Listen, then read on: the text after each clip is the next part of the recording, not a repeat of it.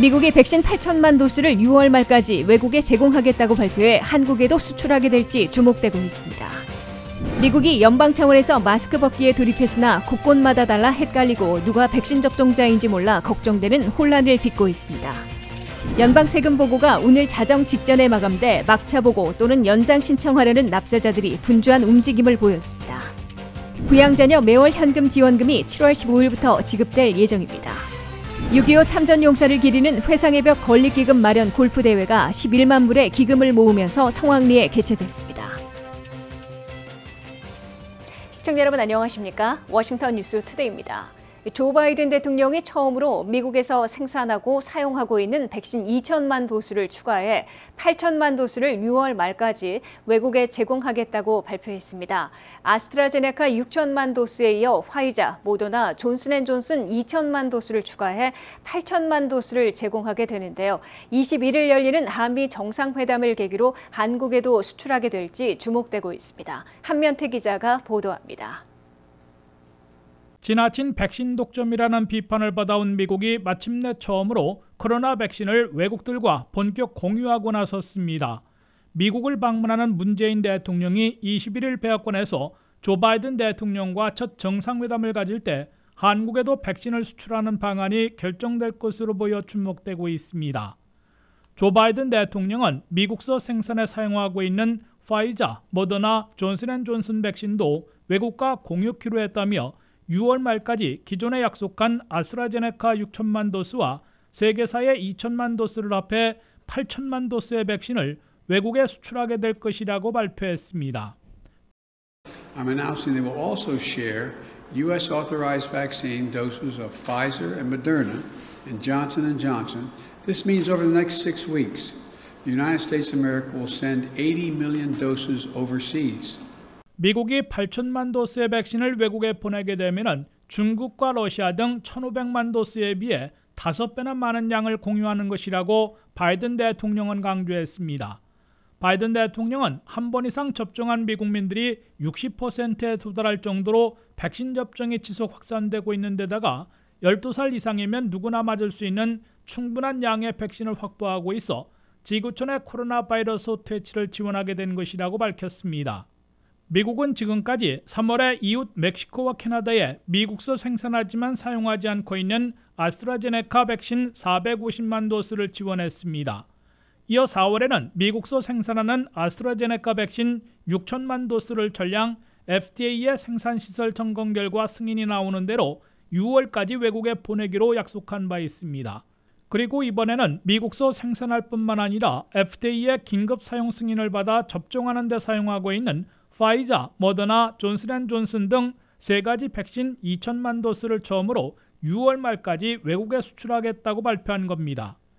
미국은 곧 어느 나라에 얼마나 백신을 제공하게 될지 결정할 방침인데 한국에 얼마나 제공하게 될지는 21일 열리는 문재인 대통령과 바이든 대통령의 첫 백악관 정상회담에서 결정될 것으로 보입니다.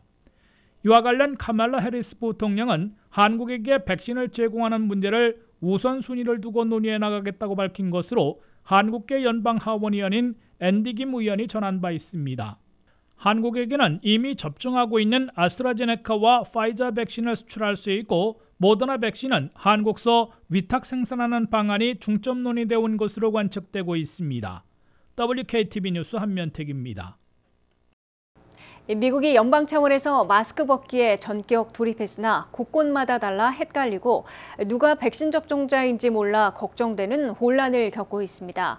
지역 정부와 사업장마다 다른 마스크 벗기와 마스크 쓰기로 사회적 혼란을 겪고 있으며 바이든 백악관이 휘발유 대란과 중동 사태 등 악재를 덮기 위해 성급하게 발표한 것 아니냐는 정치적 논란도 사고 있습니다. 박남주 기자의 보도입니다. 코로나 바이러스와의 전쟁에서 14개월 만에 새 이정표를 세운 것으로 자부하고 있는 바이든 행정부의 마스크 벗기 선언이 심각한 사회적, 경제적 혼란은 물론 정치적 악용 논쟁까지 초래하고 있습니다. 백신 접종을 마친 사람들은 마스크를 벗을 수 있다는 CDC의 새 권고와 조 바이든 대통령의 마스크 벗기 선언은 미국이 코로나 바이러스와의 전쟁에서 백신 접종으로 승리해 마스크를 벗어던지고 일상으로 복귀하기 시작했음을 알리는 상징적인 이정표로 간주되고 있습니다. 바이든 마스크 벗기 선언은 그러나 독립기념일에나 나올 것으로 예측했던 것보다 두 달이나 빠른 깜짝 발표여서 실제 실행해야 하는 각 주지사와 시장, 군수들을 당황시키고 혼란에 빠뜨리고 있습니다. 50개 주 가운데 27곳을 차지하고 있는 공화당 소속 주지사들은 이미 대부분 마스크 의무화를 해제한 반면 23곳의 민주당 소속 주지사들은 즉각 해제와 수주간 지켜보기로 나뉘고 있어 서로 다른 주정부와 지역정부 지침으로 주민들만 큰 혼란에 빠지고 있습니다. 워싱턴 수도권에서는 버지니아와 메릴랜드가 동시에 토요일부터 주정부 차원의 마스크 쓰기 의무화를 해제했으나 워싱턴 DC는 아직 대중교통과 사업장 실내, 군중이 모이는 장소를 중심으로 마스크 쓰기를 유지하고 있습니다. 민주당 소속 주지사들 중 버지니아 주지사는 즉각 주내 마스크 쓰기 의무화를 해제한 반면 캘리포니아와 뉴욕, 뉴저지는 마스크 쓰기를 그대로 유지하며 지켜보기로 했고 펜실베니아는 백신 접종률이 70%에 도달하는 2주 후에나 마스크 벗기 여부를 결정하겠다고 밝혔습니다. 심지어 미네소타 주지사는 즉각적인 마스크 벗기를 발표했으나 주내 미네아폴리스 시장은 마스크 쓰기 유지로 다른 결정을 내렸습니다. 대형 소매점들 중에서도 월마트와 코스트코, 스타벅스 등은 연방 권고한 대로 즉각 접종 완료 고객들과 종업원들이 마스크를 벗을 수 있다고 발표한 반면 타겟과 CVS 등은 여전히 마스크 쓰기를 유지한다고 밝혔습니다. 사업장들에서는 누가 백신 접종 완료자인지 알 수 없고 일일이 확인할 수도 없는 상황이어서 당혹해하고 있으며 이제 감염이 걱정되면 개인이 알아서 마스크를 써야 할 것으로 경고하고 있습니다. 의료진과 간호사협회, 보건 전문가들의 상당수는 CDC의 마스크 벗기 지침이 너무 성급하게 나왔으며 상당수를 위험에 다시 몰아넣을 수 있다고 비난하고 있습니다. 미국에서 한 번 이상 백신을 맞은 사람들은 전체의 50%에 육박하고 있으나 백신을 맞고 2주가 지난 백신 접종 완료자들은 아직 37%에 그치고 있고 신규 감염자들도 계속 발생하고 있기 때문에 성급한 마스크 벗기는 위험하다고 상당수 전문가들은 우려하고 있습니다. 게다가 바이든 백악관이 마스크 벗기를 깜짝 선언하며 코로나 바이러스와의 전쟁에서 새 이정표를 세운 것으로 부각시킨 것은 송유관 해킹에 따른 휘발유 대란, 이스라엘과 팔레스타인의 전면전 조짐 등 대내외 악재를 덮기 위한 정치적 악용이 아니냐는 논란도 사고 있습니다. WKTV 뉴스 박남주입니다.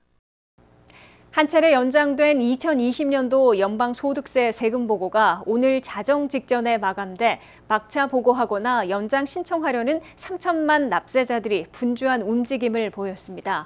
1억 5천만 명의 미국 납세자들의 대다수는 이미 세금 보고를 마쳤으나 3천만 명은 마감일에 막차를 타거나 연장 신청을 한 것으로 보입니다. 2020년도 연방 개인소득세 세금 보고가 마감된 Tax Day를 맞아 막차를 타려는 3천만 납세자들이 막차 보고 또는 연장 신청에 몰렸습니다. 미국 납세자들은 17일 자정 18일 새벽 0시 직전인 오늘 밤 11시 59분까지 2020년도 개인소득에 대한 tax return, 즉 세금 보고서를 제출하거나 연장 신청하고 내야 할 세금이 있으면 세금 납부를 마쳐야 했습니다. 첫째, 이번에는 특히 부양체크, 직접 현금 지원금을 받기 위해서는 반드시 2020년도 세금 보고를 제출해야 하며 그렇지 못하면 세금 보고를 마칠 때까지 현금 지원도 늦게 받게 됩니다. 7월부터 12월까지 매달 300달러 또는 250달러의 부양 자녀에 대한 현금 지원금을 받으려면 2020년도 세금 보고를 마쳐야 했는데 신고하지 않았거나 연장 신청했으면 현금 지원도 늦어질 수 있습니다. 둘째, 사정상 Tax Day 자정안에 세금 보고를 제출하지 못한 경우 IRS 웹사이트에서 폼 4868을 작성해 전문가 도움 또는 IRS 무료 filing 프로그램을 통해 연장 신청했으면 10월 15일까지 연기받을 수 있습니다. 셋째, 세금 보고는 10월 15일까지 연기가 가능하지만 내야 할 세금이 있으면 반드시 마감일 자정안에 IRS 웹사이트에서 debit 카드나 크레딧 카드로 납부해야 한다는 점을 유의해야 합니다. IRS 웹사이트에서 pay 항목을 누르고 은행 계좌로 내는 Direct Pay나 debit card 또는 credit card로 납부하는 항목 중 하나를 골라 은행 계좌와 debit card로는 일시불, credit card로는 사실상 분할 납부할 수 있습니다. 세금을 납부하면 세금 보고 연장 신청은 별도로 하지 않아도 됩니다. 하지만 납세자 4명 중 3명은 돌려받는 세금이 있어 return 받고 있는데 올해는 가구당 평균 2,865달러를 받고 있는 것으로 나타났습니다. 미국 가정 3,900만 가구에 사는 6,500만 자녀들이 7월 15일부터 매달 15일에 300달러 또는 250달러씩 현금 지원받습니다. IRS는 이들 중 80%는 가구의 대표 은행 계좌로 15일에 자동 입금해주고 계좌 정보가 없는 경우 종이 체크나 캐시카드를 보내줄 것이라고 밝혔습니다. 한면택 기자가 보도합니다. 바이든 미국 구조법에 따른 1,400달러씩의 3차 현금 지원에 이어 또 한 번의 직접 지원금 인 부양자녀 1인당 300달러 또는 250달러씩의 현금 지원이 7월 15일부터 시작됩니다. IRS는 7월부터 12월까지 매달 지급하는 Child Tax Credit, 즉 부양자녀 매월 현금 지원금을 7월 15일부터 시작해 매월 15일에 제공한다고 발표했습니다.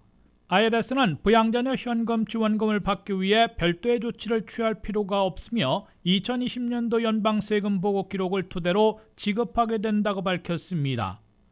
이번에 제공되는 자녀 현금 지원금은 5세까지는 매달 300달러이고 6세부터 17세까지는 250달러씩입니다. 이에 따라 한 가정에 5세와 13세짜리 두 자녀가 있다면 매달 550달러씩 15일에 부모 계좌로 입금받게 됩니다. 자녀 현금 지원금을 받게 되는 대상은 연초정소득 개인 7만 5천 달러, 부부 15만 달러 이하의 가정 3,900만 가구에 사는 6,500만 명의 부양 자녀들로 IRS는 추산하고 있습니다. 이는 미국 내 전체 부양 자녀들의 88%에 해당해 3차 현금 지원금을 받은 미국민 85%보다 더 많은 것으로 나타났습니다. IRS는 3,900만 가구 6,500만 명 가운데 80%에게는 부모의 예금 계좌로 매달 15일 자동 입금시켜주고 15일이 공휴일 또는 주말이면 근접일에 입금해 줄 것으로 밝혔습니다. 다른 20%는 종이 체크나 캐시카드를 발급해 우편으로 보내주게 됩니다. 2021년 한 해 1년간 특별 시행되는 부양자녀 매달 현금 지원은 미국 구조계획법에서 Child Tax Credit을 보통 1인당 2,000달러에서 5세까지는 3,600달러, 6세에서 17세까지는 3,000달러로 올리고 그 절반을 매달 지급키로 결정한 데 따른 겁니다. 따라서 3,600달러 또는 3,000달러를 둘로 나눈 금액을 7월부터 12월까지 6개월간 매달 300달러 또는 250달러씩 지급하고 나머지 절반인 1,800달러 또는 1,500달러는 내년 4월 15일 세금 보고 시 한꺼번에 환급받게 됩니다.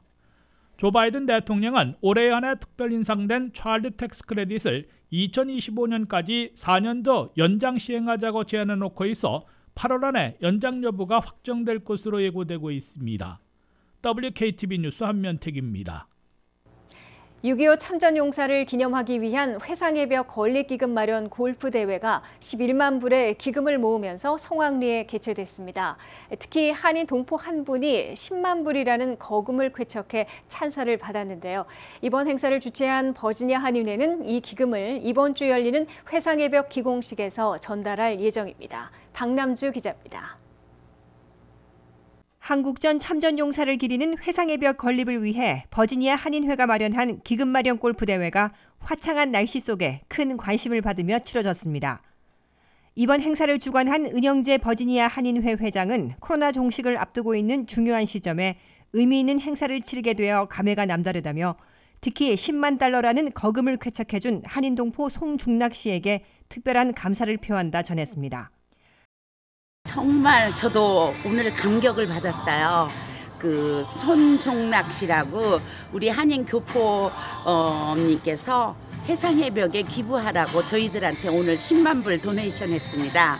일일이 정성을 모아서 저희들이 오늘 골프대회에 만 불을 모았고 그래서 이번에 어, 해상해벽에 어, 문재인 대통령님과 바이든 대통령이 우리 해상해벽에 첫 삽을 뜰 때 제가 그날 어, 11만 불을 버지니아 한인의 이름으로 어, 기금을 전달할 겁니다. 회상의 벽 기금 마련을 위해 개인적으로 10만 달러를 내놓은 송중락 씨는 회상의 벽 건립에 힘을 보탤 수 있어 동포로서 뿌듯함을 느낀다 밝혔습니다. 미국 젊은 용사들이 전사하고 부상당하고 이런 걸 이제 제가 알게 됐어요. 그리고 우리 아들이 자기 손자 손녀인데 다 설명을 하고 어, 자기네들이 그 협력해가지고 자기가 기부를 하겠다 그래서 저 고맙게도 하게 됐습니다. 버지니아 한인회가 마련한 이번 골프 대회로 총 11만 달러의 기금이 모였으며 한인회는 이 기금을 이번 주 열리는 회상의 벽 기공식에서 전달할 예정입니다. 이번 행사에는 전 주한미군 사령관 겸 한미연합 사령관을 지낸 존 틸릴리 이사장과 주미 한국대사관 표세우 국방무관, 권세중 총영사 등이 참여했습니다. 존 틸릴리 이사장은 어려운 가운데 후원해준 한인사회에 감사 인사를 전하고 건립공사가 순조롭게 진행될 수 있도록 최선을 다하겠다 말했습니다. We in the Memorial Foundation are very appreciative of uh, the golf tournament today. Uh, the purpose, of course, is uh, to support the Memorial Foundation and the Wall of Remembrance, uh, which is uh, very important to the Korean American uh, Alliance and very important to those who gave their lives uh, for the freedom of the Republic of Korea. 회상의 벽 건립 사업은 워싱턴 DC 한국전 참전기념공원 내 미군 3만 6천 명과 카투사 7천여 명의 이름을 새겨 넣은 추모의 벽을 건립하는 사업입니다. 회상의 벽은 회상의 연못을 병풍처럼 둘러싸는 형태로 높이 2.2m, 둘레 50m의 초대형 유리벽으로 설치될 예정입니다. 총 공사 기간만 18개월이 걸리고 2,200만 달러가 소요되는 사업으로 미국 한국 참전용사 추모 재단이 추진하고 있습니다. WKTV 뉴스 박남주입니다.